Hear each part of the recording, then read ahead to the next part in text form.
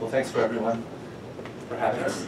My name is Joseph Prather, founder, CEO of Dyme.co. And so this is a very personal company for me. Um, I was born to a teenage mom in Kentucky, born into this world where no one saved money. No one had any confidence about um, control their own money. They were very defeated and afraid by money. If you think about, I bet there's a lot of Mint.com users, Quicken users, people that have spreadsheets based on their finances in this, in this room. Hmm. What I'm speaking to, the person I'm speaking to is the opposite user case of that, right? This is someone, including myself, 39 years later, that still feels nervous when I try to log into my US bank account, right? There's just this ingrained idea that there's a negative balance or that there's just a really bad outcome, right? So I used to think this was part of the culture of poverty, but as I moved and you know started swimming in different circles, I realized that this affects all kinds of different uh, income, age, right? Let's talk about millennials. Millennials are spending a dollar and two cents for every dollar they earn on the aggregate. So you can imagine there's a lot of really bad individual cases going on there, right? Three in 10 millennials don't even have a savings account. So they don't even have a basic mechanism to start saving any money at all, right? So I put all this together and I thought, how can I develop a solution that actually helps people change their habit, ch start developing some personal savings habits, right? Because the habit is really the hardest part, right? So what Dyme is, is a very simple program. It's it, basically we text a user, right? So a user will set a goal. Say they want to pay down $1,000 of credit card debt, or they want to go to Hawaii with a friend, or they want to start an emergency savings account, right? So it's a very simple login, uh, setup, user setup account. And then what we do, we, we text them a few times a week, and we say, hey, do you want to pop over 10 bucks? Do you want to move $20 over, right? A few times a week we say this, and the user, all they have to do to start this habit is reply with the letter yes, or, a, or the letter Y, or the word yes, right? And so that money gets queued up and once a week gets ACH'd into an account that we hold on their behalf, right? So there's some Fitbit element to this, right? We make it really easy to start building that savings muscle and we don't face the user with a lot of negative, right? Um, a lot of these users have really uh, ingrained negativity about their own finances. And so when they come to Dyme, they see positive things, right? So you can see up here, keep it going, text yes to move 20 back, 25 bucks to savings. All they have to say is yes. And then from that, we can say 25 bucks saved, way to go. Keep it up and you'll save 4,900 bucks this year. So these users start with a short-term mentality, and our goal is to stretch it to a more long-term mentality, right? And um, so we start showing them these results that over the course of a month, they saved 300 bucks. And they, they said, well, savings was always something I wanted to do. I, I knew I should do it, but I never knew how to do it. And so now when they start seeing these results, that's what happens, right? So we did a small friends and family uh, alpha test.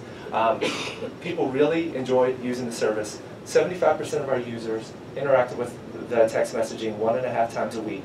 People went from zero savings to about 40 to 90 bucks a week in savings, right? And so just based on that result, um, we are really excited that um, a large known financial services company has funded our beta for the next six months. So we are off to the races. Um, we are, our next milestone is developing three, in three months, a thousand users and increasing this engagement with our service, right?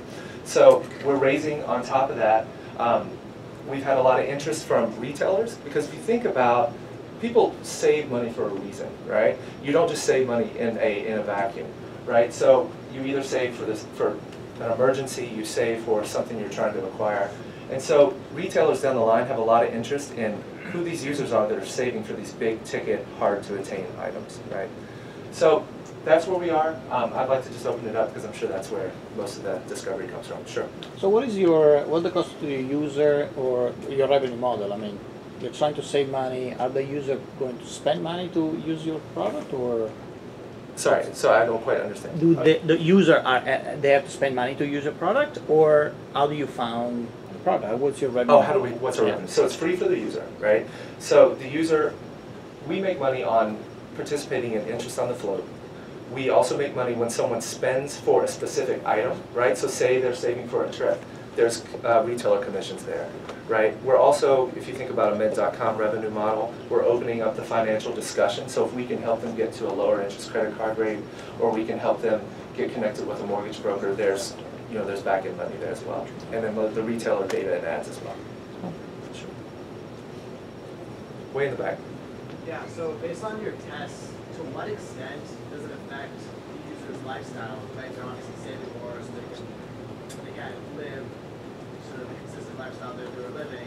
And so have you noticed any delta there and how users have managed that change? Cool. That's um, not something we've measured, right? It's more anecdotal, you know, based on just interviewing. Um, what we've noticed is people, that what they tell us is that they miss the service, right? Because just in the way that you go to Target and you need two things and you leave with 10, right? If you don't have any kind of pushback, and that's what basically we're pushing back on, is that buy or buy, don't buy moment. When you go to a coffee shop, sure, I'll get a muffin as well, right? So I don't know any specific date on that. That would be something great to do in the beta. Um, but it's, what we're doing is providing some kind of resistance against, sure, I've got five extra bucks, I'll spend it on this.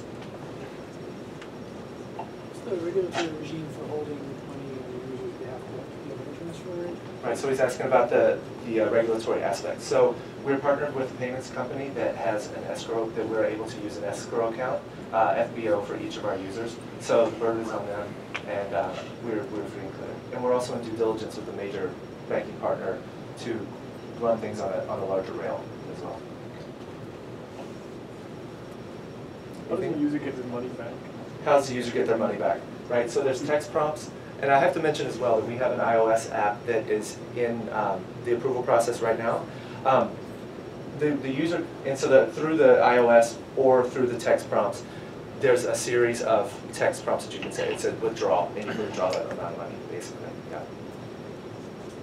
And let me just add, if anyone's interested in onboarding, um, right now we're in a sandbox, so if you go to dyme.co and just create um, just the first page of your info, and it'll be, you know, name, uh, email, and phone number, and then we'll just let you know the next couple days when it's ready for production and uh, full onboarding.